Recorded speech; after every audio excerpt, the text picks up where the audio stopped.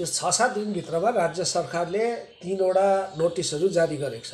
र यो नोटिसहरू यो मेन्टेनेन्सको र यो मेन्टेनेन्सको इरिगेसनको स्प्रेको सिक्लिङको यो छ। हिजो फेरि एउटा नोटिस आएको छ त्यसमा पच्चिस प्रतिशत वर्करहरूलाई काममा लाएर प्रडक्सन गर्ने भन्ने कुरा छ।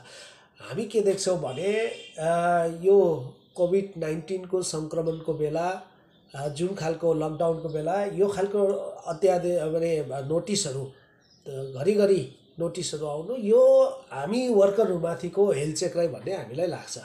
हिजो जुन पच्चिस प्रतिशत वर्करहरू लिएर प्रडक्सनको कामको प्लकिङको कामको जुन नोटिस गरे आज बिहानदेखि धेरै जस्तो बगानहरूमा यसलाई इम्प्लिमेन्ट गर्ने चेष्टा गर्दैछ र धेरै जस्तो वर्करहरू बोलाएर प्लकिङ गराउने चेष्टा गर्दैछ गर्दैछ। र हामी स्पष्ट भन्न चाहन्छौँ पहिला चौबिस तारिकदेखिको हाम्रो जुन लकडाउन पिरियडको पेमेन्ट गर्नुपर्छ।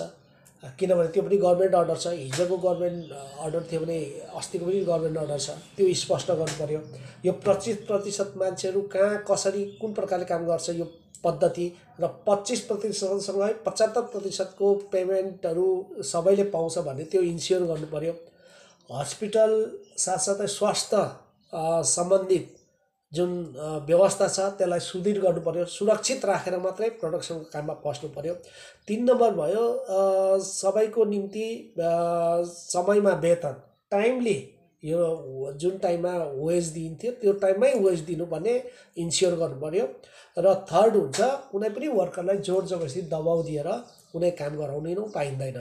र सबभन्दा पहिला यो बगानहरूले निर् निर्देशिकाहरू तयारी गरोस्।